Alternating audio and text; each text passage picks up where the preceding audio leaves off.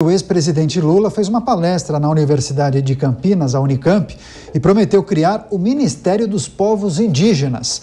O petista diz que quer ir na contramão do que é feito no atual governo e quer criar ministérios para pagar a dívida histórica e acabar com a fome e com o desemprego no país.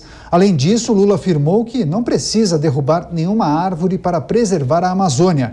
Vamos ouvir a fala do pré-candidato.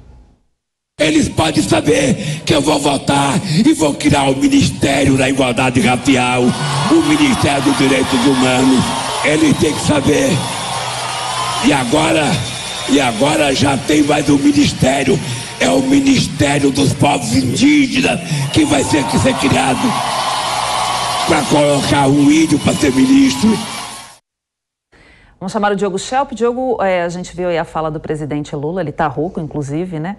É, como você vê aí essa, essa fala dele dizendo que vai criar o Ministério dos Povos Indígenas? É um povo que sofre bastante, principalmente nos últimos tempos, que a gente sabe, né?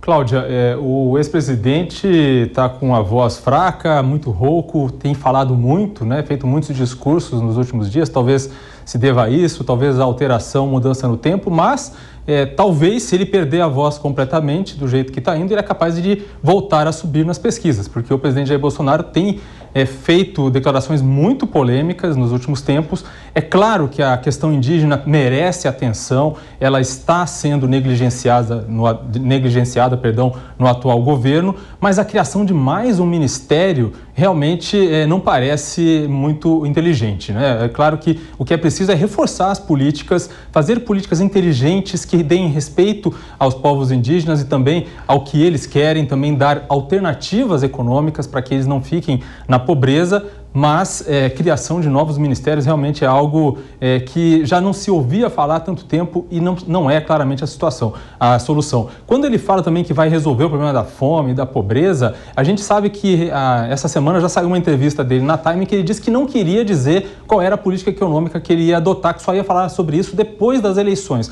Ora, os eleitores precisam saber, então, qual é a solução para ele, qual é a bala mágica que ele vai usar para acabar com a fome e com a pobreza.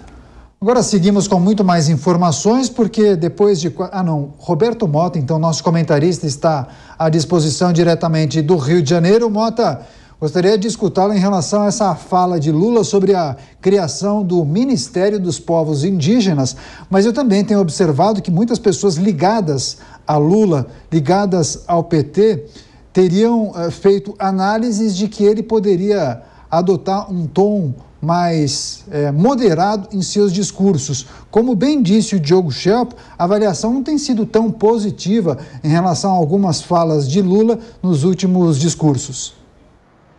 Daniel, quanto mais ministérios, mais cargos para distribuir aos amigos, mais aumenta o orçamento do governo, mais aumento de impostos serão necessários. Esse é o jogo, o pensamento desse pessoal da esquerda que gravita em torno do Lula. Ele, ele se caracteriza por uma falta de entendimento é, de como funciona a economia. É, o, o, o, Diogo tem razão. É, o Lula está trabalhando para eleger o Bolsonaro, talvez até no primeiro turno. Ele não só é, faz declarações contraditórias, né, ele faz declarações que é, apresentam contradição com os atos. A gente viu ele dizendo que ia acabar com os clubes de tiro e ia criar, ia criar clubes de livro. E ontem ou anteontem, um segurança dele foi fotografado levando a tiracoro. Imagine você, não um livro, não uma enciclopédia, mas uma, uma metralhadora, um fuzil de grosso calibre.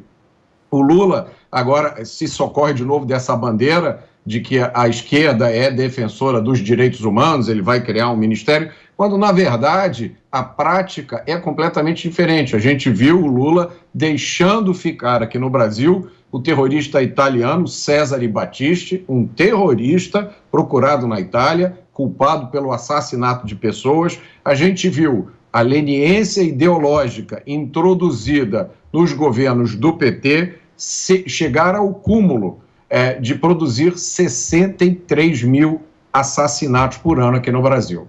Então, o Lula é pura contradição.